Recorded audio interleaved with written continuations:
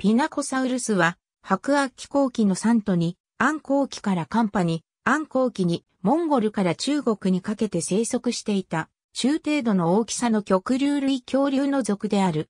ピナコサウルスは、各尾行の近くに、用途不明な2から5個の付加的な穴があった。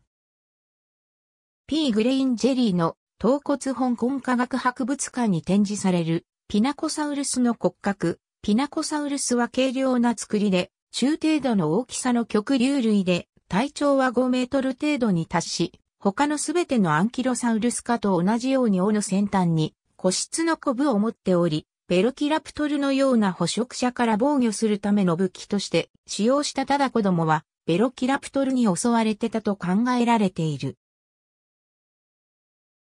アメリカ自然史博物館は1920年代にいくつかのモンゴルのゴビ砂漠での中央アジア探検を講演していた。シャバラクースのジャドフタ層の円の崖で発見された多くの古生物学的資料の中にピナコサウルスのオリジナルの標本はあった。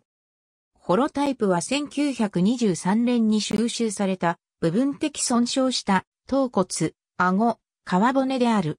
ピナコサウルスは最もよく知られたアジアの極流類であり、一つの完全な骨格、五つの頭骨、一つの部分的な頭骨、砂嵐で同時に死んだとみられる二組のごちゃごちゃに混ざった様態の化石群、など15の標本が含まれる。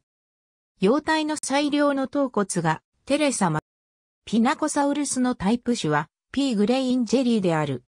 幼少県はネーカ海賊自治区で新しい標本を発見し、1935年に新種 P ニングジーンシスを記載したが、現在では P グレインジェリーと同じ種だと考えられている1952年にマリーブよってシルモサウルスビミニカードゥスとして記載された断片的な化石のように、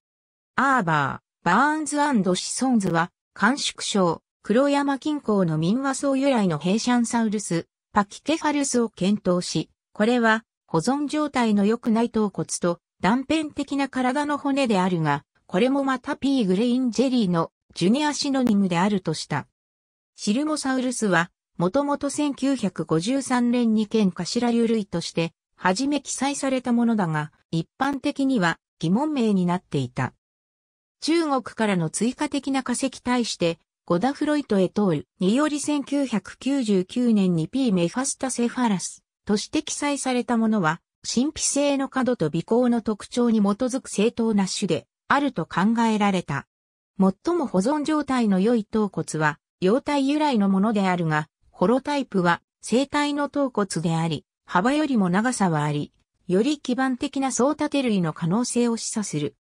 ピナコサウルスは、もともとはノドサウルス科とされたが、現在ではアンキロサウルス科であると考えられている。下記のクラドグラムは2011年の古生物学者、リチャード・エス・トンプソン、ジョリオン・シー・パリッシュ、スザンナ・ C.R. メイドメント及び、ポール・エム・バレットによる解析より得られた最も決定的な樹形である。ありがとうございます。